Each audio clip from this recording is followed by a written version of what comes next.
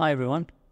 In today's video, we'll try to code a convolutional neural net and a vision transformer, and we will test both the neural nets on the same dataset. I also have my handwritten notes just to explain the architecture of the both neural nets.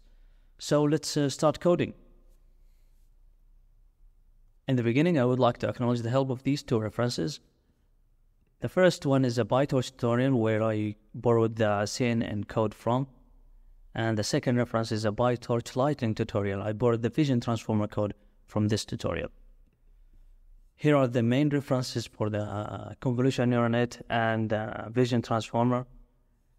Some libraries, and I'm setting some uh, parameters here. For example, the start and end timers to uh, to just to time the execution time for the for the CNN and uh, Vision Transformer.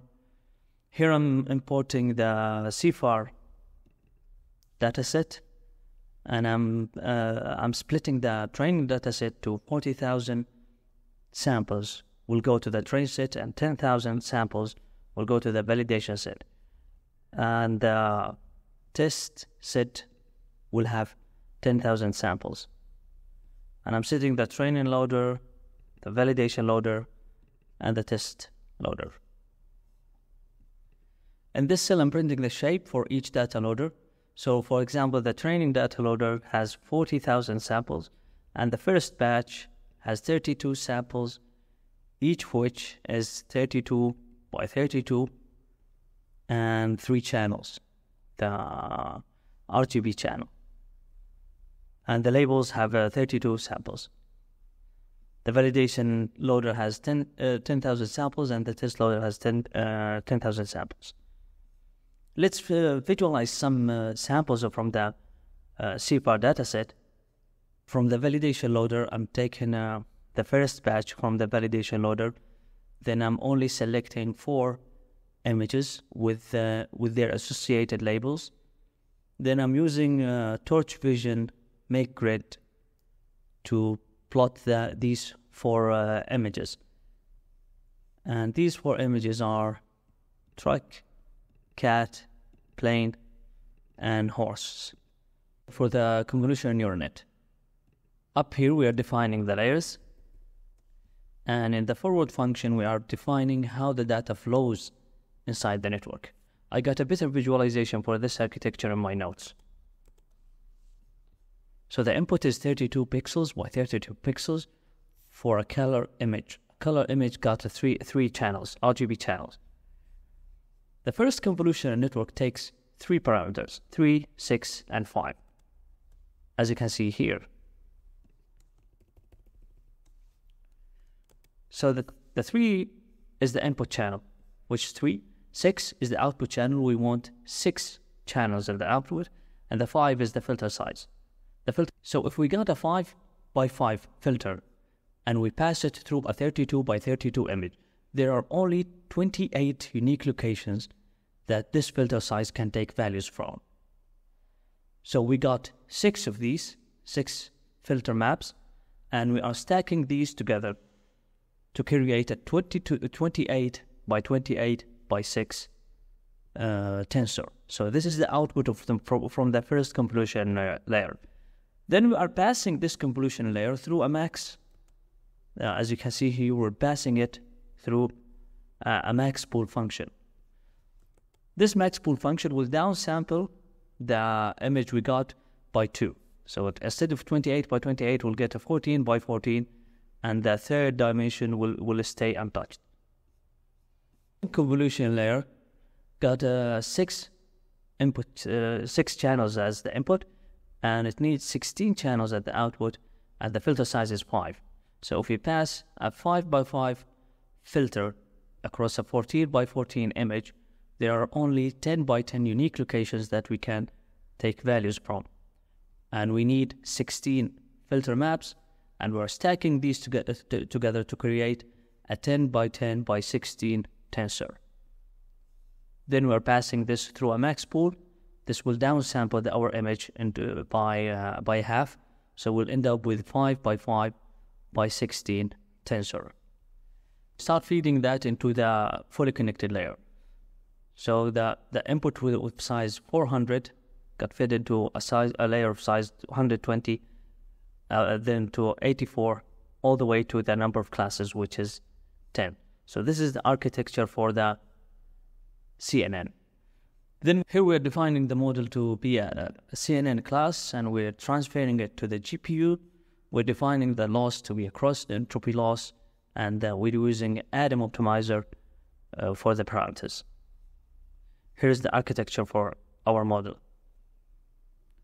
Here's our CNN training loop. We're defining two lists to store the validation and training losses, and we're try we're defining two variables to hold the, the, the average loss.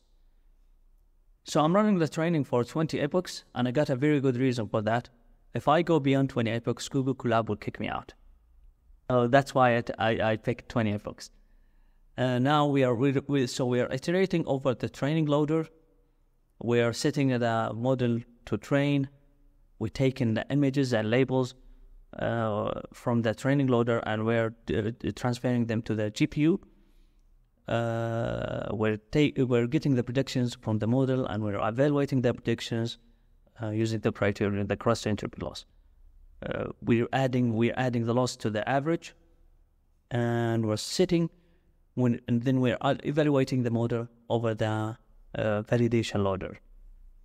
Here we're just storing the values to a list for plotting. Here is here is the here's the the, the training and here is the plot for the training and validation loss. Test, if we test the CNN model over the test loader, we will get 61 uh, accuracy. Have a look at uh, vision transformer training. First, we're defining some parameters. And this is uh, a helper function to split the image into patches. Now, here is a visualization for the function using the, the examples that we shown at the beginning of the notebook. So we got a 32 by 32 pixels, and if we have a patch size of 8, basically we we, ha- we, we got uh, uh, 16 patches for each image in our dataset. So each image in our dataset will be split into 15 into 16 patches, and we're feeding that to the a transformer. The transformer architecture has an attention block that goes inside a vision transformer. So, so here is the forward function for the vision transformer. Some data preparation, then we are running the transformer. I got a bit of visualization in my notes. So a single batch in our vision transformer got 32 images, each of which has a 32 by 32 pixels by 3 channels split these images into patches. We got 32 images and we're flattening the, the patches. So each patch is 8 by 8 by 3. So if we flatten these values, we will get 192 values.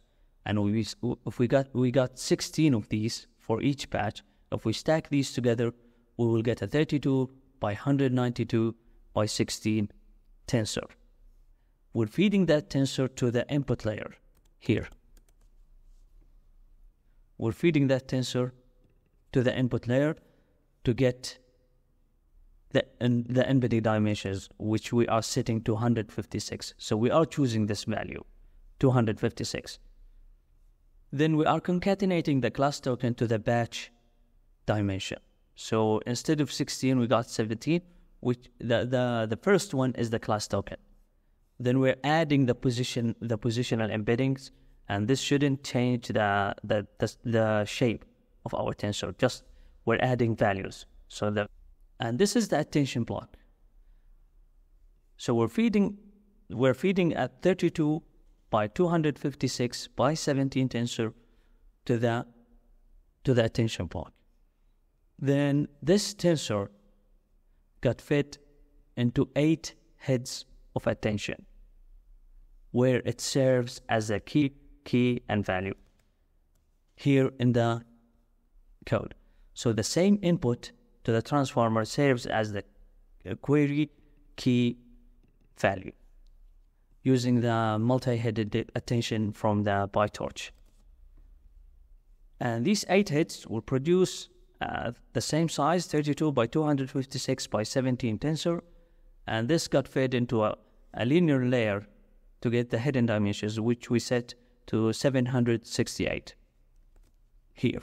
So we're we're feeding the embedding uh, we're feeding we're feeding the linear layer the tensor with the size of the embedding dimension to get the hidden dimension. It passes through some nonlinearity, a drop out, then we transfer it back to the embedding dimension. Here, seven, 768, some nonlinearity, it won't change the tensor, then we're getting back to the 100 to uh, 256. And this attention block is repeated for six layers. As you can see here in the code, here. So this attention block is repeated for six layers. I got a printout of the model. So this is the first attention block, the second, third, fourth, fifth, and sixth.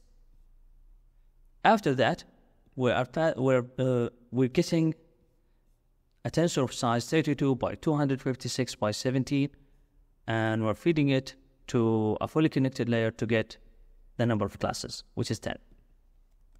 Just like CNN training, we are defining two lists for uh, plotting the loss after after training the model on the validation set.